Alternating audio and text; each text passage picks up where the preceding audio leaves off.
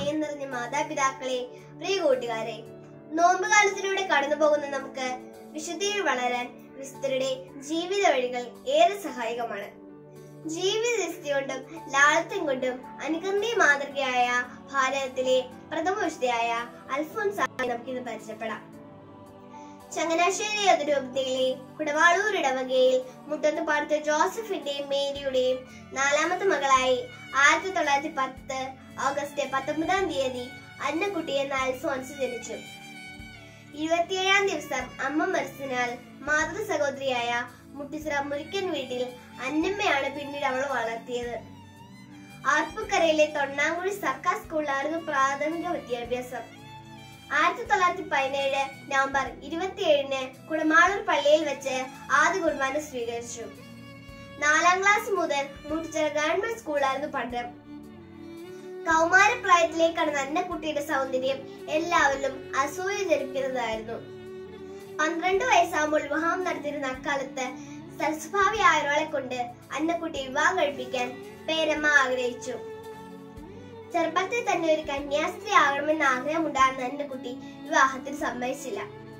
ക്രിസ്തുവിനോട് കൂടിയായിരിക്കുന്നതിൽ കൂടുതൽ സന്തോഷം കണ്ടെത്തിയ അവൾ എന്നും അവിടത്തോടു കൂടിയായിരിക്കാനാണ് അഗ്നികുണ്ടത്തിൽ ചാടിയത്. കൊച്ചുനാൾ മുതൽ സുഹൃത്തുക്കളുടെ പാഠശാലയിൽ സ്നേഹം ത്യാഗം സഹനം വിശുദ്ധി എന്നീ പുണ്യങ്ങൾ പരിശീലിച്ചു പോന്നു.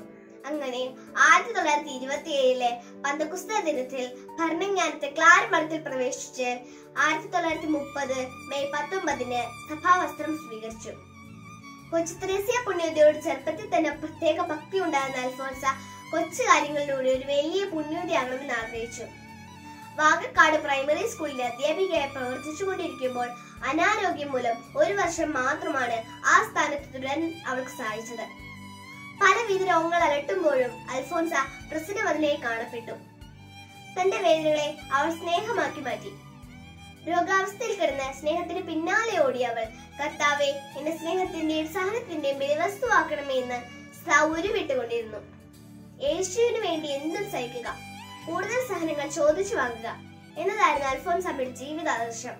സഹനങ്ങളെ സ്നേഹത്തിൽ ചാലിച്ച് ഉയർത്തിക്കാട്ടി സന്യാസത്തിന്റെ മാറ്റം നിന്നത് ലോകത്തെ പഠിപ്പിച്ച മിസ് അൽഫോൻസാമ ആയിരത്തി തൊള്ളായിരത്തി നാൽപ്പത്തി ആറ് ജൂലൈ ഇരുപത്തിയെട്ടാം തീയതി തീവ്രമായ വേദന അനുഭവിച്ച് ഈശോ മറിയ മൗസേപ്പെ നൂരുവിട്ട് തന്റെ സഹനമയെ പൂർത്തിയാക്കി.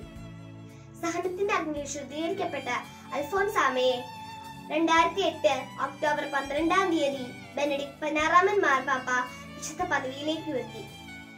സ്നേഹമുള്ളവരെ സഹനത്തിലൂടെ വിശുദ്ധിയിലേക്ക് പ്രവേശിക്കാൻ ശ്രമിക്കുന്ന ആർക്കും അൽഫോൻസാമ ഒരു വഴികാട്ടിയും കിളിവാതിനുമാണ് സഹനം എന്ന താക്കോൽ കൊണ്ട് ഈശോയുടെ ഹൃദയം തുറന്ന വിശുദ്ധ അൽഫോൻസാമയെ പോലെ ഈശോയുടെ ഹൃദയത്തിൽ നമുക്കും ഇടം തേടാം. നന്ദി നമസ്കാരം.